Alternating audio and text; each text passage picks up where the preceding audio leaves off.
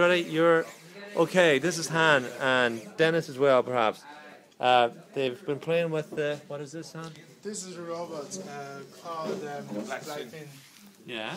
Uh, it connected with the wireless network. It, this is a access point. Yeah. The actual computer can connect to the robot and control this robot. Drive actually drive the robot. Um, Okay, try. without seeing the actual robot. There's a camera around it. So let's go. Yeah, that's cool. Let's try to drive it.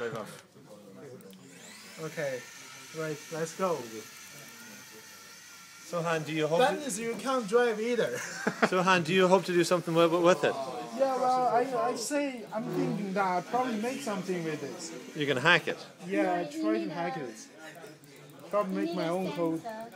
Yeah, there's a camera though. We can do some um, image processing. or You can do the image directly from it. receiver, um, the laser actually. If it goes too far as well, it loses connection. Like, It's good though. Well done. Good stuff, Dennis. Do you have anything to say on it? uh, no, Panic in the camera. no, but there's a certain range on it. Like, and after Good. Well Now done. you can go up